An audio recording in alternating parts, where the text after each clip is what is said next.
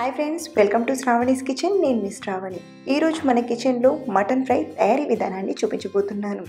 చాలా ఈజీగా ఈ మటన్ ఫ్రైని ఎంతో రుచికరంగా చేసేయచ్చు. మీరు మటన్ ఫ్రైని కమ్మకమ్మగా చేయాలంటే మాత్రం ఇక్కడ మనం చేసే ఈ ప్రాసెస్తో ట్రై చేయండి.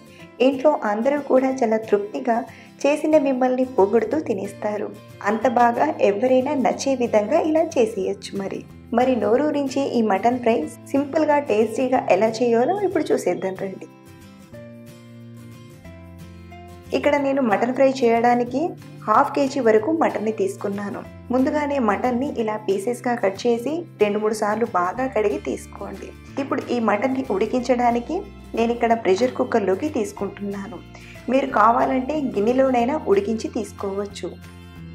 ఇందులోకి అర టీ స్పూన్ పసుపుని అలాగే అర టీ స్పూన్ ఉప్పుని ఒక టేబుల్ స్పూన్ వరకు అల్లం వెల్లుల్లి పేస్ట్ని తీసుకుందాం. అలాగే ఉడికించడానికి అర గ్లాస్ వాటర్ని వేసి ఒకసారి బాగా కలపండి.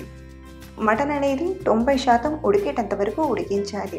మీరు గిన్నెలో ఉడికించినా సరే లేదా ఇలా కుక్కర్లో ఉడికించినా సరే. ఇప్పుడు మూత పెట్టి ఒక నాలుగు విజిల్స్ చేస్తే మటన్ అనేది మనకు కావాల్సినట్టుగా తొంభై శాతం ఉడుకుతుంది. నాలుగు విజిల్స్ తర్వాత కుక్కర్లోని గాలి మొత్తం పోయాక మటన్ ఉడికిందో లేదో ఒకసారి చూద్దాం. చూడండి మటన్ అనేది మనకు కావాల్సినట్టుగానే కరెక్ట్గా ఉడికింది. ఇలా మీరు కూడా మటన్ని బాగా ఉడికించి తీసుకోండి. ఇప్పుడు మటన్లోకి మసాలా కోసం స్టవ్ ఆన్ చేసి ఒక ప్యాన్లోకి ఒక టేబుల్ స్పూన్ ధనియాలను చిన్న దాల్చిన చెక్క ముక్కను మూడు యాలక్కులు నాలుగైదు లవంగాలు అలాగే ఒక టీ స్పూన్ మిరియాలను కూడా తీసుకుందాం. ఈ మటన్ ఫ్రైలో మిరియాల టేస్ట్ ఫ్లేవర్ అనేది చాలా బాగుంటుంది. అలాగే ఒక నాలుగు ఎండుమిరపకాయలని తీసుకొని మీడియం ఫ్లేమ్లో వీటిని దూరగా ఫ్రై చేయండి. అలాగే ఈ మటన్ ఫ్రైలో పైనుండి నేను కొంచెం కారాన్ని కూడా యాడ్ చేస్తానండి. మీరు కారం వేయకుండా మరో నాలుగు ఎండుమిరపకాయలు పెంచి తీసుకున్నా కానీ సరిపోతుంది. ఇవన్నీ ఇలా దోరగా ఫ్రై అయ్యాక ఇవి కొంచెం చల్లారాక మిక్సర్ జార్లోకి తీసుకొని మెత్తని పొడిలా గ్రైండ్ చేయండి. ఇలా మెత్తని పొడిలా గ్రైండ్ చేసి రెడీగా పక్కన పెట్టుకుందాం.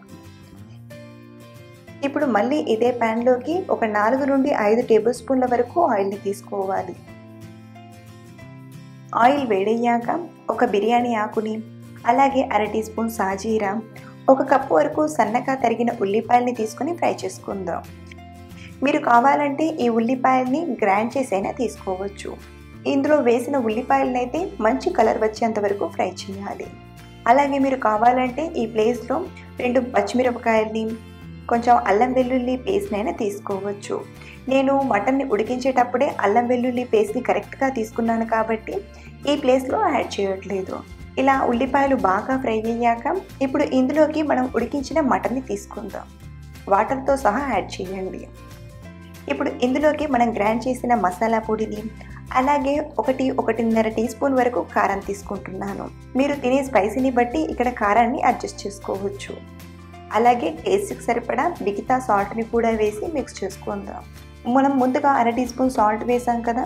సో మిగతా మన టేస్ట్కి సరిపడా సాల్ట్ని ఈ ప్లేస్లో వేసి మిక్స్ చేయడమే. ఇలా కలుపుతూ హై ఫ్లేమ్లో ఐదు నుండి ఎనిమిది నిమిషాల పాటు ఉడికిస్తే మటన్ అనేది దగ్గర పడుతుంది. అలా అని మరీ కంటిన్యూస్గా కలపకుండా ఒక రెండు నిమిషాలకు ఒకసారి మధ్య మధ్యలో కలుపుతూ ఉడికిస్తే సరిపోతుంది. అలాగే మీకు ఈ మటన్ ఫ్రై అనేది ఎంత డ్రైగా కావాలంటే అంత డ్రైగా ప్రిపేర్ చేసుకోవచ్చు. మామూలు డ్రైగా ఉండాలంటే ఈ స్టేజ్లో తీసుకుంటే సరిపోతుంది.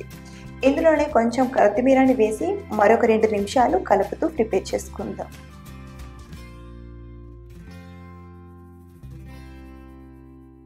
చూడండి నాకైతే ఇంత డ్రైనెస్ అనేది సరిపోతుంది. మీరు ఇంకొంచెం డ్రైగా ఉండాలనుకుంటే మరో రెండు నిమిషాలు కలుపుతూ ప్రిపేర్ చేస్తే సరిపోతుంది. చివరిగా మరి కాస్త కొత్తిమీర వేసి బాగా కలిపి సర్వ్ చేయడమే. Tasty tasty mutton fry ready అయిపోయింది. మీరు కూడా ఇంట్లో ఒకసారి ఇలా మటన్ ఫ్రై రెసిపీని ట్రై చేయండి. ఇంట్లో అందరూ కూడా చాలా ఇష్టంగా తింటారు. సో ఫ్రెండ్స్ ఈ సింపుల్ టేస్టీ మటన్ రెసిపీ మీకు నచ్చితే ఒక లైక్ చేసి మీ ఫ్రెండ్స్కి షేర్ చేయండి. అలాగే ట్రై చేసి మీకు ఎలా కుదిరిందో కింద కామెంట్లో నాతో షేర్ చేయండి. మరిన్ని టేస్టీ రెసిపీస్ కోసం మన ఛానల్ని ఫాలో అవ్వండి. Thank you for watching.